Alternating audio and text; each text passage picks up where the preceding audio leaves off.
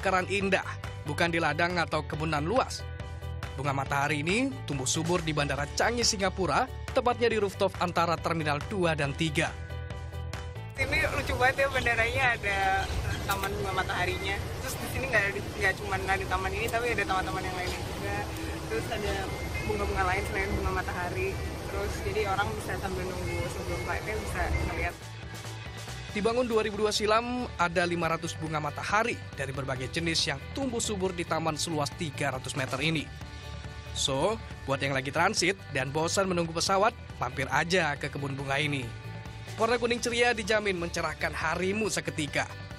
Dengan segala fasilitasnya, nggak heran ya kalau Bandara Canggih menduduki peringkat satu sebagai bandara terbaik di dunia versi Skytrax.